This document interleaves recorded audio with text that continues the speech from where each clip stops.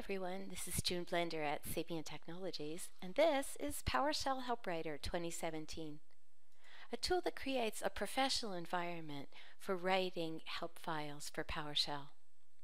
You can edit existing help files, or let PowerShell HelpWriter create help files for your module based on the module code. PowerShell HelpWriter examines the module, and for each function, commandlet, workflow, or CIM command, it reads in the commandlet attributes, parameters, and parameter attributes so that the information in your help file always matches the code in your module.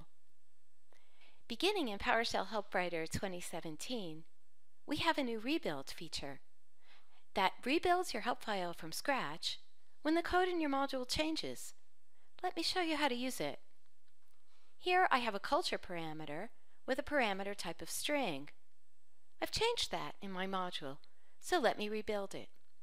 I'll go up here and click the Rebuild button, click OK, and now when I come back to that culture parameter, it has a new parameter type, along with any other changes that were specified in the code. In this video, I'll show you how to use the rebuild feature and how to rebuild your help files from code in the same version of a module when it changes, or rebuild the help file when you get a new version of the same module. So let's begin. To use advanced features like the rebuild feature, I need a module project, so I'm going to create one for my module.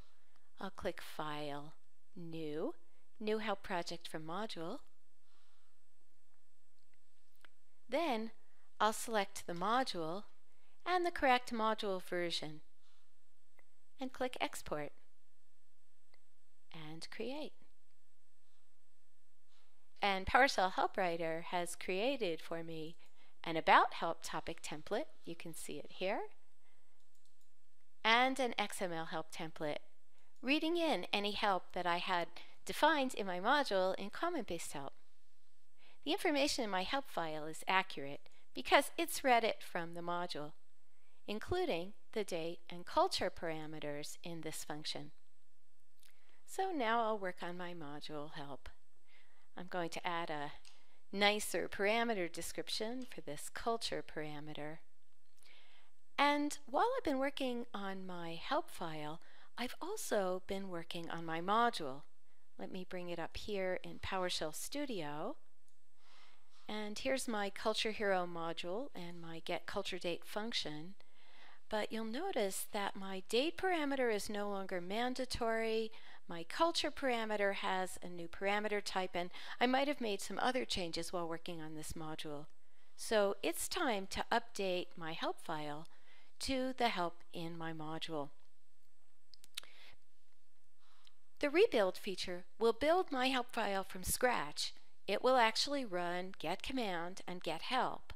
So it's very important that before I rebuild, I make sure that my help, the help that I just wrote, is associated with the functions in my module.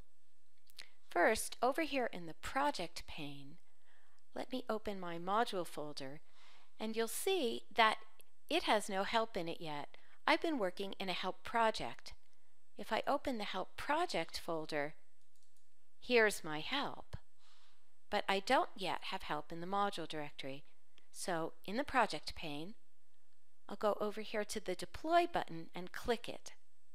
That copies the help files that I've been working on to the correct language specific subdirectory in my module. And now when I open the module folder, my help files are there. That's step one. Step two is making sure that every function in the module is associated with the XML help file. Let's bring up PowerShell Studio. And I will replace this comment-based help with an external help comment keyword that associates my getCultureDate function with the name of my new help file and I'll save. Now the last thing is to go in here in my properties pane and determine whether I want to rebuild using path or name. Rebuild in PowerShell HelpWriter has two options, rebuild using path and rebuild using name. When you want to rebuild from the same version of your module, use rebuild using path. PowerShell HelpWriter rebuilds by using the full path of your module, its module base, including any version subdirectories. If you want to rebuild the newest version of your module, use rebuild using name. When you do, PowerShell HelpWriter runs a get module command on the name of your module and gets the newest module and rebuilds your help file from the newest version of that module. In this case, we want to rebuild from the same module, so we'll use rebuild using path. So back here in PowerShell HelpWriter, I'll make sure that rebuild using is set to path. And now I can click rebuild and click OK. And now when I look at those parameters, the culture parameter has the new parameter type and the date parameter is no longer required. That's rebuild using path. Let me show you the alternative, rebuild using name. So I've been working on this module for a while, and now my version 2 of the module has become stable enough that I want to update my help project to the code in version 2. Let me show you how to do that.